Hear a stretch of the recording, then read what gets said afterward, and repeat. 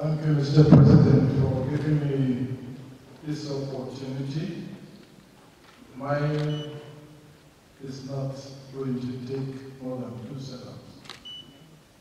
Mr. Ministers, uh, just like the rest of my colleagues have extended a word of appreciation for the quality of job and the document for us. And of course, more importantly, the, the production of the job done by that was assigned to carry out. I have most of the questions and concerns have been exhausted. I have just one particular issue which is so delicate, i.e., yes, the railway has the right of way, and it has the right of way to sue any obstructed obstruction caused by people living in that area. But in most of the railways passing through the open towns and villages, you see that they are quite naked.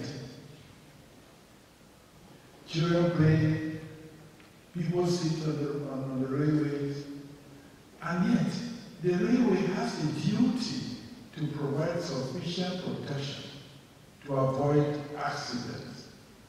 Elsewhere in the world, fences are constructed when the rail is passing through the town or through congested areas. In our own area here, take Orezeka, take Gomsamba, take Kumba, take Douala itself, when you see where railways cross, take Yaoundé, you see that they're naked.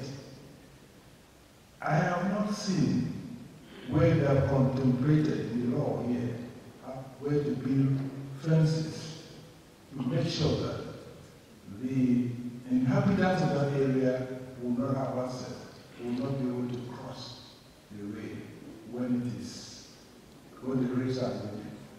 What think could be done, Mr. Minister? Don't you think that that will be contemplated and enshrined in the those fences?